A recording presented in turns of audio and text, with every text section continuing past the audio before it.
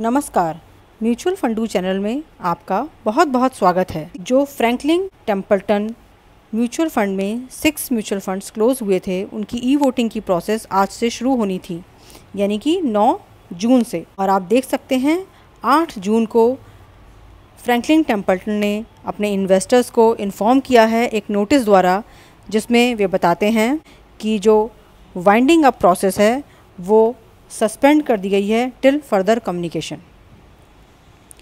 इस कम्युनिकेशन के डिटेल्स मैं आपको आगे स्लाइड्स में बताने जा रही हूँ। जैसा कि आपको पता है कि गुजरात हाई कोर्ट ने फ्रैंकलिन टेम्पल्टन के ई वोटिंग प्रोसेस पर स्टे लगा दिया था।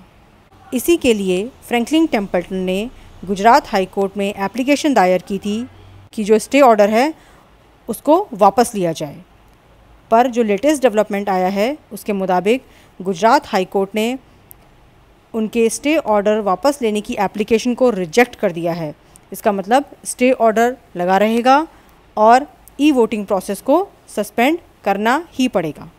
18 पेजेस का ये जजमेंट है, जो मैं डिस्क्रिप्शन लिंक में डाल दूँगी ताकि आपको अगर पूरा रेफरेंस पढ़ना है तो आप वहाँ से पढ़ सकते हैं।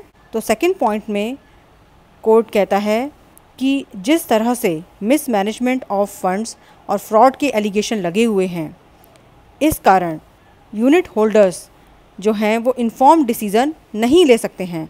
उनके पास इस प्रकार की अपॉर्चुनिटी नहीं है कि वो इन्फॉर्म डिसीज़न लेकर के अपना वोट कास्ट कर सकें।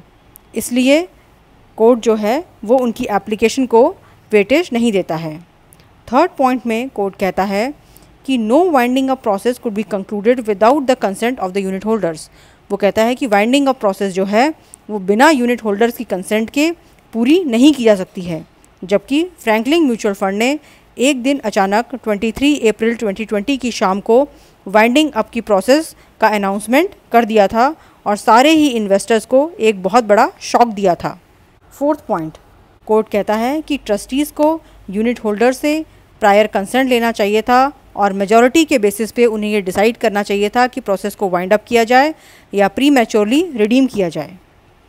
फिफ्थ पॉइंट में वो कोर्ट कहता है कि जो प्रोविजंस हैं लॉ के, उनको देखते हुए जब तक फोरेंसिक ऑडिट रिपोर्ट पब्लिक नहीं हो जाती है, तब तक के लिए ई वोटिंग प्रोसेस नहीं हो सकती है।